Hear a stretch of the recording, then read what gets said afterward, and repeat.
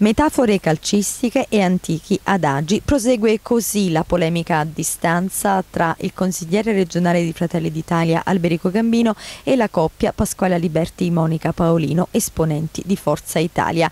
La questione pronto soccorso si è trasformata in un terreno di scontro o forse siccome si usano metafore calcistiche, in un campo di calcio per due squadre contendenti. In questa vicenda non voglio parlare dei due esponenti di Forza Italia.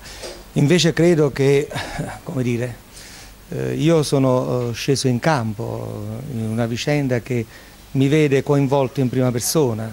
Diversi nostri concittadini, conterranei mi hanno sottoposto la problematica che ho condiviso sin dall'inizio.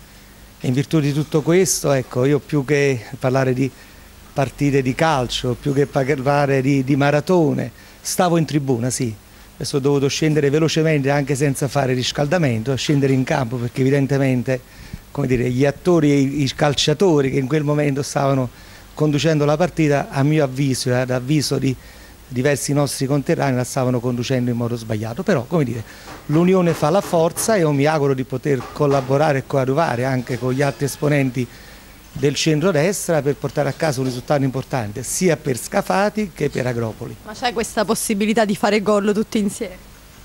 Assolutamente, io sono stato sempre un uomo di squadra, il mio aiuto, il mio supporto spero che possa fare un grande assist per dirla alla Maradona, no?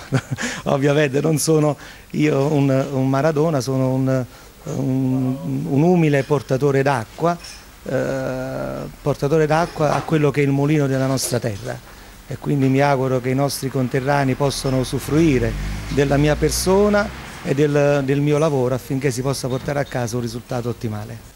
Parole che hanno suscitato l'immediata reazione di Pasquale Liberti. Commovente ha scritto in un post su Facebook se i calciatori non sono all'altezza neppure il migliore Maradona può risolvere la partita. Immaginiamo quale può essere il contributo di un umile portatore d'acqua. Qui bisognerebbe licenziare l'allenatore, il colonnello che ha avuto la capacità di mettere a litigare un'intera famiglia, quella del centrodestra, altro che moglie e marito.